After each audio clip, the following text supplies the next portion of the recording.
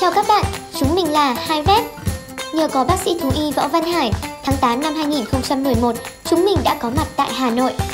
Sau 9 năm hoạt động, hệ thống thú y của Hai Vet trở thành một địa chỉ tin cậy trong lĩnh vực khám chữa bệnh, spa, khách sạn, phụ kiện thú cưng uy tín hàng đầu khu vực Hà Nội và các tỉnh thành Bắc Trung Bộ. Bạn biết không, tiền thân của hệ thống thú y Hai Vet là phòng khám thú y Hà Nội và phòng khám thú y Dr. Hải. Tính đến nay, chúng mình có 8 cơ sở đang hoạt động trên 4 thành phố Hà Nội, Hải Dương, Bắc Ninh và Nghệ An.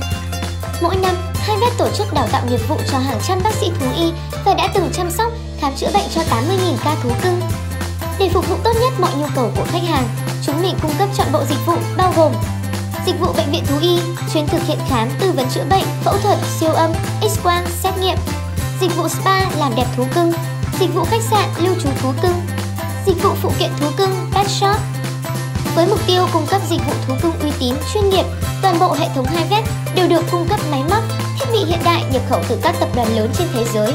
Ngoài ra, y bác sĩ tại hai vet đều được đào tạo từ Học viện Nông nghiệp Việt Nam và các tổ chức thú y uy tín toàn cầu.